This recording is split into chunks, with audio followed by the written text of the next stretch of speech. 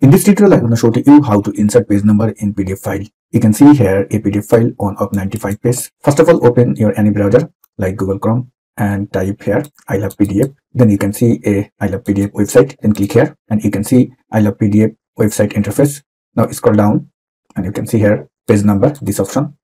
Click this option and here you can see select PDF file, this option. Now click this button and select your PDF file. Now you can see your screen right side PDF number, this option section. Okay. Now change your page number margin. That means position, page number. Click this position and click this margin option.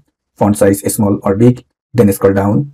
Click this text option. Also change your font, font size. Now click add page number, this button. Okay. Now click download PDF number, this button and open your PDF file. Scroll down. You can see here page number 1 of 95. Scroll down you can see here page number 2 of 95 if you like this video please subscribe our youtube channel. Thanks for watching